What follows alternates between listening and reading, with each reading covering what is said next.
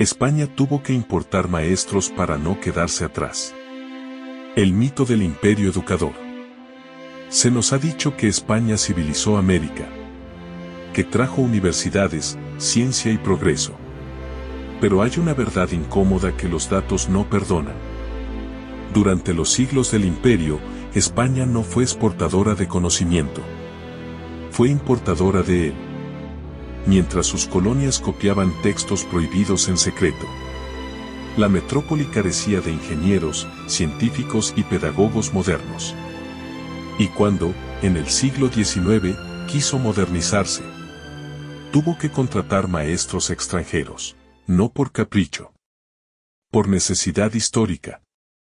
Porque tras tres siglos de censura, aislamiento y control eclesiástico, España no estaba a la vanguardia del conocimiento. Estaba en su cola. Reconocemos que hubo excepciones brillantes, como Juan de Celaya en lógica o José Celestino Mutis en botánica. Pero el sistema no las replicó. El genio individual no compensa la ausencia estructural.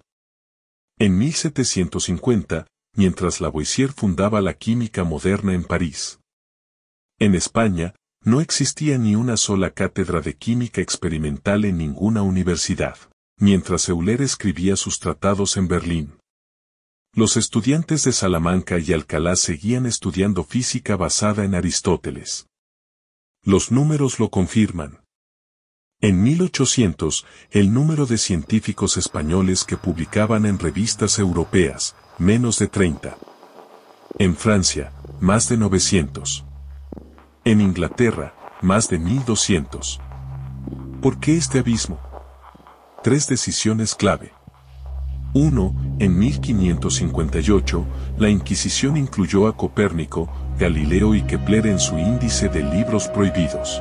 2. En 1559, se prohibió a los estudiantes españoles estudiar en universidades extranjeras, Real Cédula de Felipe II. 3. En 1767, al expulsar a los jesuitas, los únicos que enseñaban matemáticas y astronomía modernas, no se creó un sistema laico de reemplazo.